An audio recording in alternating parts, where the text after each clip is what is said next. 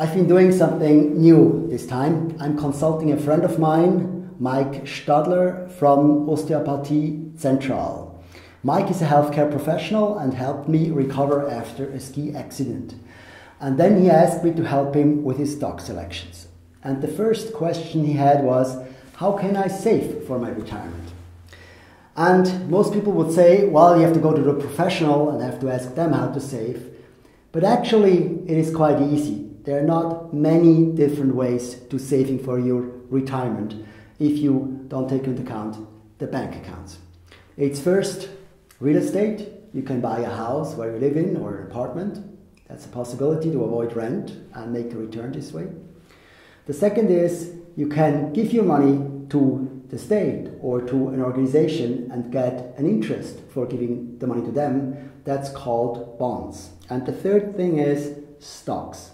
Stocks actually make you owner of a public, publicly quoted company, of a company that is actually at the stock market. These are the three possibilities. Now, real estate been, has been really popular, but you may already own real estate.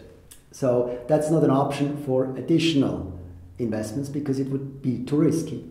So you can only choose between options and bonds. Now, between stocks and bonds.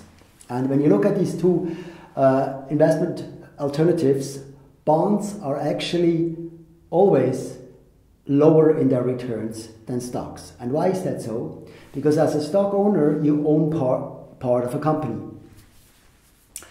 Now, stocks fluctuate a lot over time, and that make, may actually scare you. And there is actually something really important about investing in stocks for your retirement. The first and most important thing is don't panic. And a way of not panicking is not looking at the prices that the stocks move.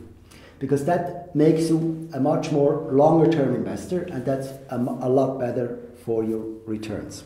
And the second is even if you are like Mike Stadler, who runs his own company, Osteopathie Central, if you, even if you are an owner of a company, you may still want to invest in other companies because then you're better diversified.